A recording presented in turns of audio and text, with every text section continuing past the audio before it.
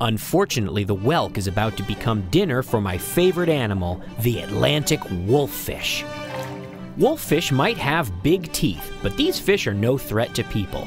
They like to eat whelks and crabs. Wolffish often get together in pairs during the summer to lay their eggs. They hang out in the same den under a rock.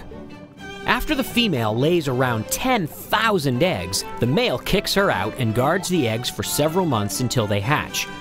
Here you can see the egg mass behind the male way inside his den.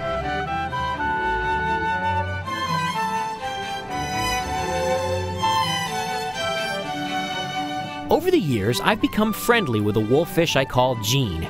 He can't resist a whelk or two when I bring them right to his front door. It took me a couple of years to get him comfortable enough with me to come all the way out of his den. Even then, he's pretty skittish.